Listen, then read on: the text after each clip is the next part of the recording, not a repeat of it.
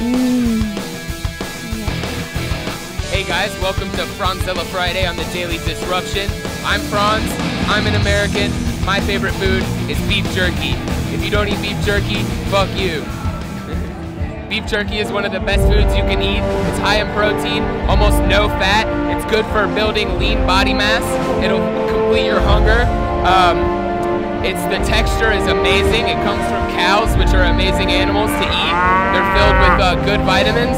Um, beef jerky is you could live for your whole life only eating beef jerky. What more do I need to say?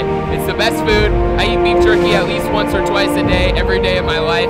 Um, it gets me the protein I need and not as many calories, not too much fat. I think everyone should eat beef jerky as much as I do. It's really good and it's fucking amazing.